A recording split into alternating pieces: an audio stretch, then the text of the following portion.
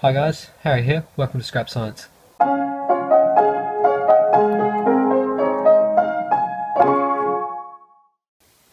So in this video I thought I'd show you this experiment that I've had going on for the past few months in which I'm electrolyzing down large quantities of water into oxygen and hydrogen gas and I will hopefully be left with uh, something called deuterium or heavy water. Now deuterium is an isotope of hydrogen where instead of having just a proton in the nucleus, it has both a proton and a neutron, making it twice as heavy. However, this isotope of hydrogen only occurs in 1 in every 6,400 atoms, meaning that water, which has quite a bit of hydrogen, only has 1 milliliter of water containing this deuterium in every 6.4 litres. Now the thing about deuterium is that it's really hard to separate from regular hydrogen, seeing as it's chemically similar in every way except for how heavy it is. However, electrolysis, what I'm doing here, is actually very selective in the way that it picks out hydrogen to turn into hydrogen gas from water. In fact, it's actually 10 times more likely to pick out regular hydrogen from a deuterium isotope. So, if I electrolyze down 6.4 litres of water, I should theoretically have 1 milliliter of water containing just deuterium. Now, it's not 100% efficient. In fact, the way I'm doing it, I've calculated that I'll have to electrolyse down around a bit over 12 litres of water in order to get 1 milliliter of this heavier isotope of hydrogen. But hopefully, by the end of the electrolysis runs, I will have around about a milliliter of water that will be measurably heavier than regular water. Now, the setup that I've got currently is like the one here. I've got a lead dioxide anode generating oxygen gas, lead metal cathode generating hydrogen gas from a sulfuric acid solution. I'll start off in the vessel with 400 milliliters worth of water, and then I'll electrolyze that down, turn it into oxygen and hydrogen gas until it reaches the point where it's 200 milliliters worth of water. And the hydrogen isotope of deuterium should be twice as concentrated by this point, or roundabout. Now, in order to save sulfuric acid, I'm not going to be performing this 60 times in order to electrolyze down enough water. Instead, I'm going to just refill this back up to 400 milliliters every time that it reaches down to that 200 milliliter point. And I'll do that electrolysis cycle, electrolyze it down to 200 milliliters, fill it back up to 400 with regular water, and I'll do that 10 times, and then I should be left with what I've calculated it to be an 8 times concentrated solution containing deuterium.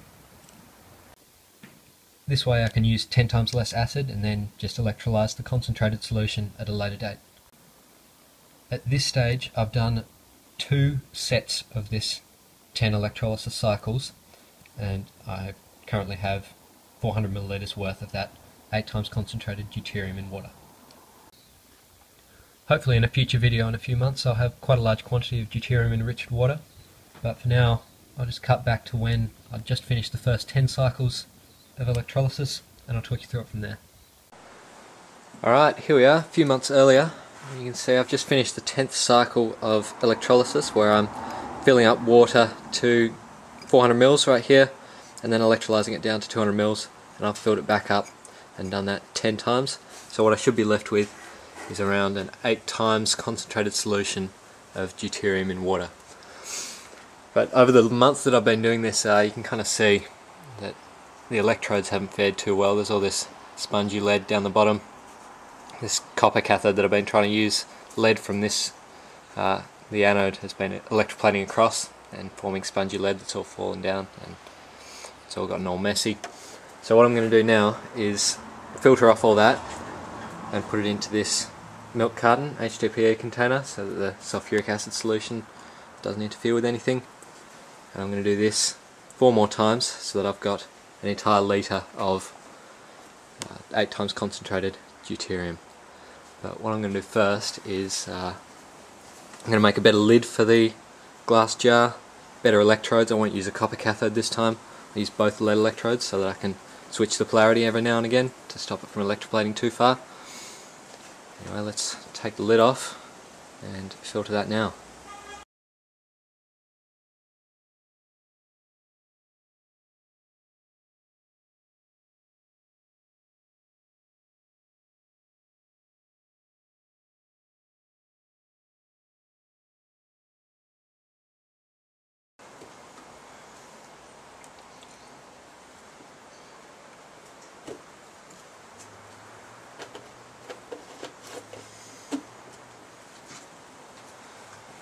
Alright, so now I'll go and wash off all of this spongy stuff at the bottom and remove the electrodes, put a new lid on it.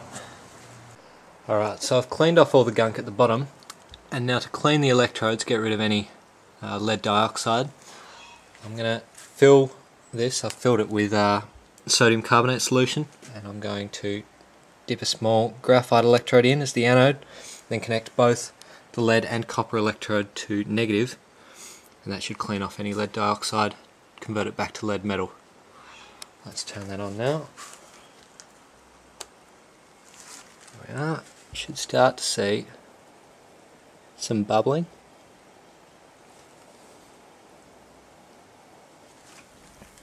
You can see it better here, I think.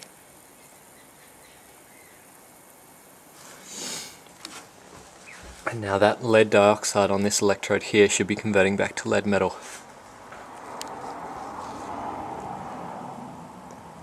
It's a bit tricky to see, but you can't really see the colour change there. It's a bit more clear without the camera. But the browny red colour of the lead dioxide is converting back to the kind of grey silvery colour of lead. I'll let that go for a few minutes and then empty out the sodium carbonate solution.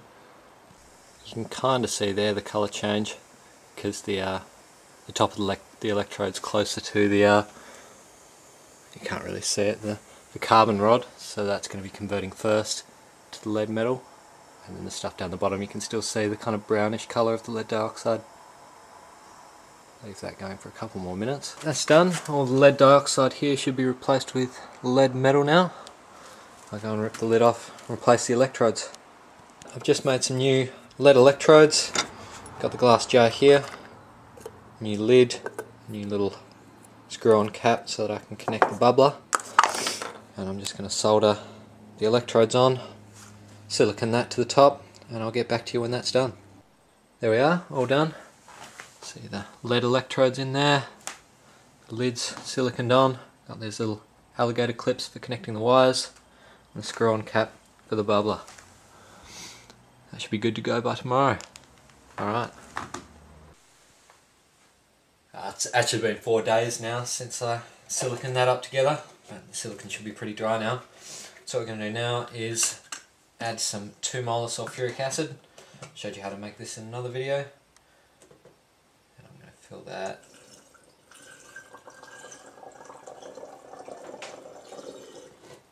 to around about 200 milliliter mark that I made some time back. And a little bit more.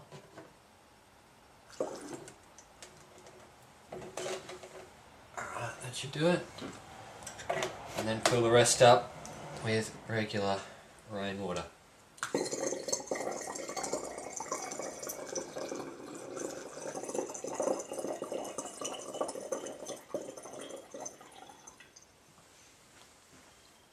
Alright, It over to the power supply.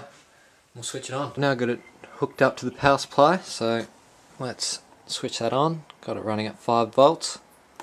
We should start to see, oh, it's a bit tricky to see there in the, in the darkness like that, but there's a few hydrogen bubbles coming off that electrode. We're getting oxygen off the other one. Right now it's just running at around 4 amps, but that should pick up when we convert the lead anode to lead dioxide. Right, so I've left that going for a few minutes and you can see we're already up to nearly 7 amps there, so I might stick it down in this coolant bath and leave it going overnight and I'll do 10 of these electrolysis cycles and we'll be left with another 200 milliliters of 8 times concentrated deuterium water. So it's been another month and what I've done is repeated the electrolysis another 10 times so what I should have down here is another 200 milliliters of 8 times concentrated deuterium in water like I had last time. So what I'll do now is filter it off and then add it to my sample that I've got over here.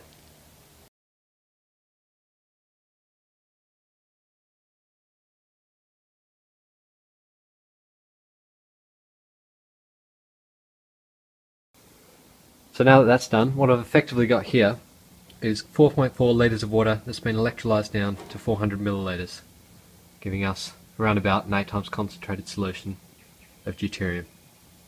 Once I've filled this up, I'm actually going to do 2 litres of this 8 times concentrated stuff instead of 1 litre like I said last time.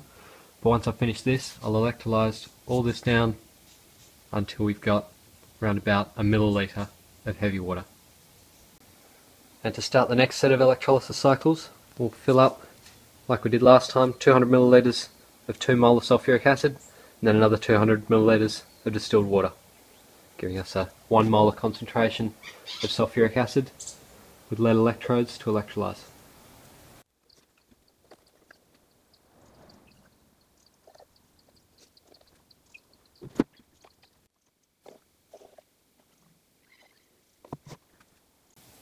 Seeing as just having one electrolytic cell would take a really long time to get really any quantity of deuterium, I've set up a second cell here. You can see works in the exact same way. Do the electrolysis cycles 10 times and you'll have this one actually, it's a little bit bigger, you'll have 300 milliliters of 8 times concentrated deuterium in water. Except this one actually runs on uh, having a sodium hydroxide electrolyte instead of sulfuric acid. That way when they both finish off I'll be able to neutralize the solution by just mixing them together. So you can't really see right now because the solution's gone all murky, but the electrodes inside have actually fared really well. And being able to switch the current polarity, I've been able to keep electrode wear to a minimum. So hopefully the electrodes will last the whole experiment, not like the last ones. So now that I've got it all set up, I've got it in this coolant bucket, and we'll watch the ammeter as we turn it on Hopefully we'll get a fair amount of current. Yeah, normally starts out ooh, normally starts out with a really high current because we've reversed the polarity so we're essentially discharging the battery with current. And now you can see it's kind of slowing down back to 10 amps maybe a bit below.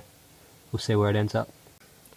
And there we are stopped at around 5.5 amps Actually, now that I've waited a few hours, it's built its way all the way up to 8 amps. Much better. So I'll leave this running for another month and filter it off like last time, along with this one as well. And hopefully, in a fair while, we'll have some highly concentrated deuterium water.